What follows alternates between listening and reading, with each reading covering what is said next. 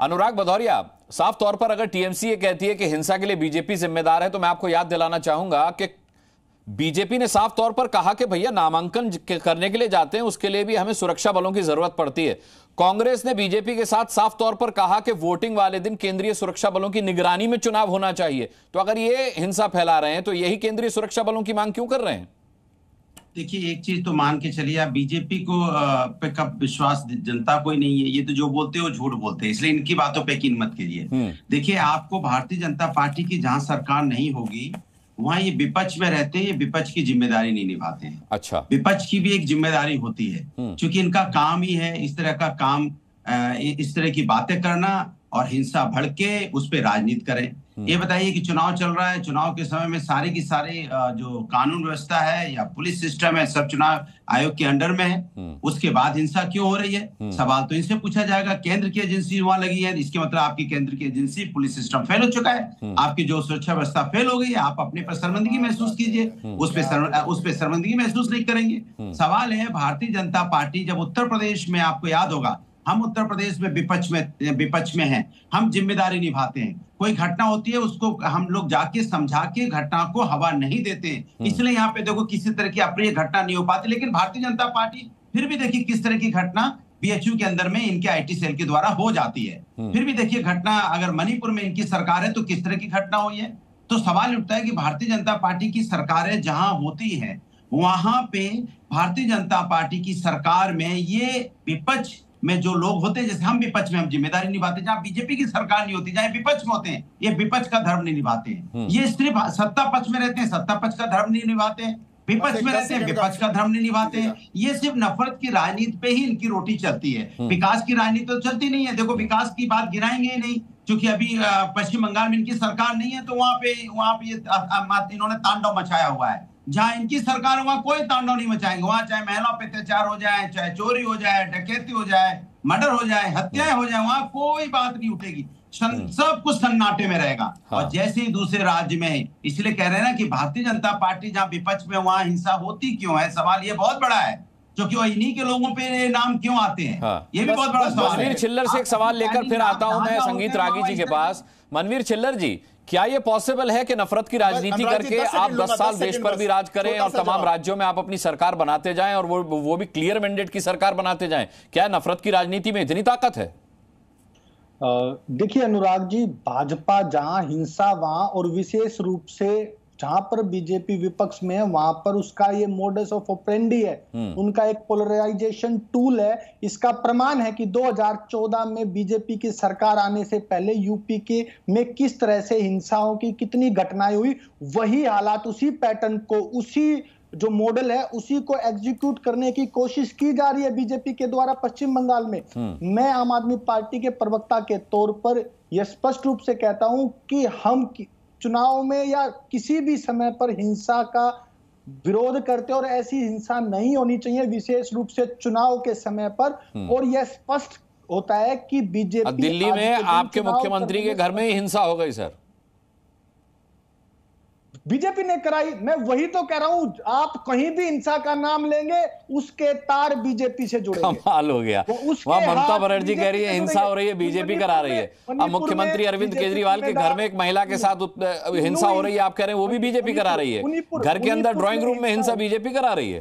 बिल्कुल बीजेपी ही उसकी जिम्मेदार है। मणिपुर में हिंसा हुई बताइए उसको कंट्रोल करने में जिम्मेदार ज़िम्मेदारी निभाई बीजेपी ने? नहीं निभाई। आज बंगाल में चौकी केंद्र केंद्रीय बल वहाँ पर तैनात है। चुनाव आयोग की ज़िम्मेदारी है और जो चीफ इलेक्शन कमिश्नर है वो बीजेपी के द्वारा नियुक्त है।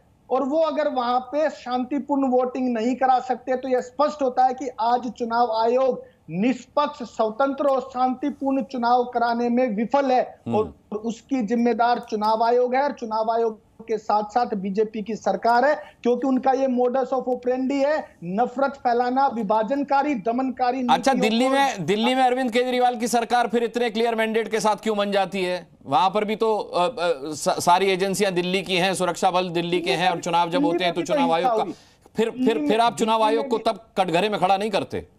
दिल्ली में भी चुनाव से पहले दिल्ली में भी तो हिंसा हुई। हाँ लेकिन तो आपके तो आपके मुख्यमंत्री बने ना अरविंद केजरीवाल। यहाँ बिल्कुल बने। आप टीएमसी भी तो वहाँ बन रही है ना बंगाल में भी तो टीएमसी बन रही है ना। हाँ। हिंसा और ये फिर भी बन रही है ना हाँ, टीएमसी। लेकिन ये 2021 विपक्ष के विधानसभा चुनाव में बीजेपी का अच्छा प्रदर्शन रहा है वहाँ पर।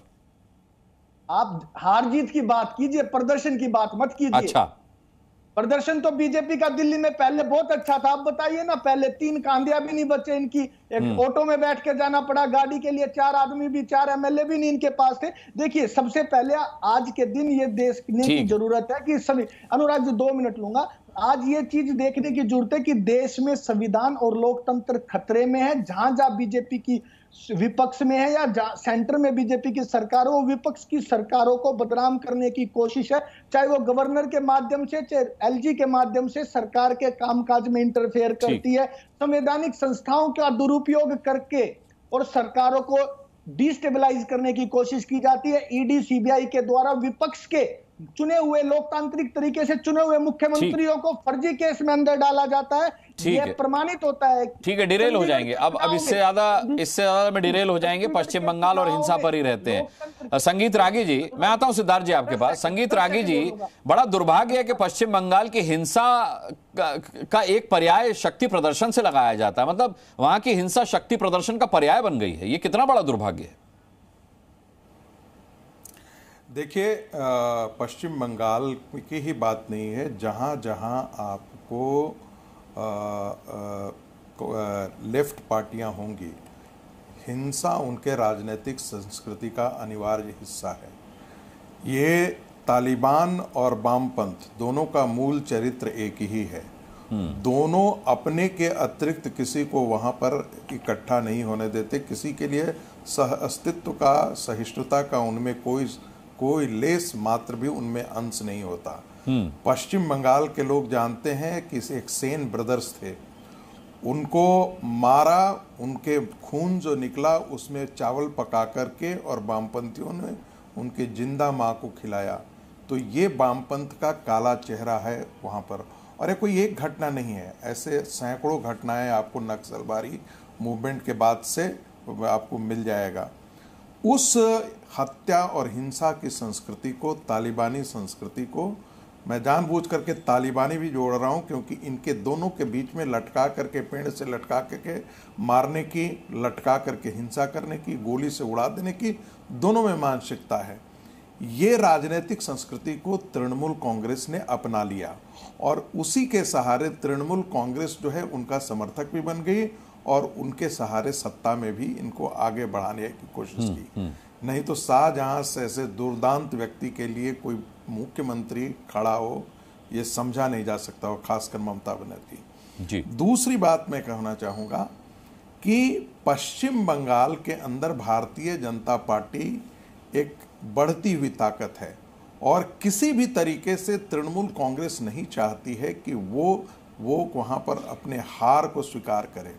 यदि निष्पक्ष चुनाव हो आप तो निश्चित तौर पर मुझे लगता है कि पिछली बार ही भारतीय जनता पार्टी सत्ता में आ सकती थी। लेकिन आपको याद होगा कि पंचायत चुनाव के बाद कम से कम पच्चीस हज़ार लोग जी। भाग गए थे। जाकर के आसाम भागे छत्तीसगढ़ भागे झारखंड भागे बिहार के अंदर आकर के गए थे।